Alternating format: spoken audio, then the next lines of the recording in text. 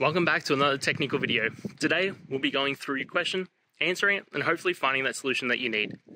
Guys, remember to stay just a little bit crazy just like me, and hopefully get through to that resolution. Let's get started.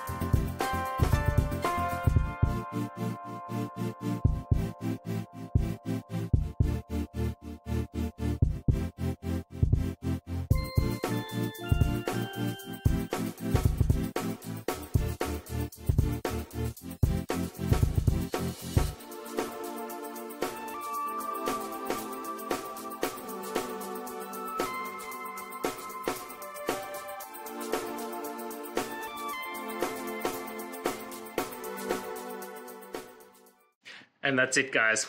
I hope this video helped find that resolution you're looking for. If it did, please hit subscribe. I'd really appreciate it. And until next time, I hope you have a good one. Cheers.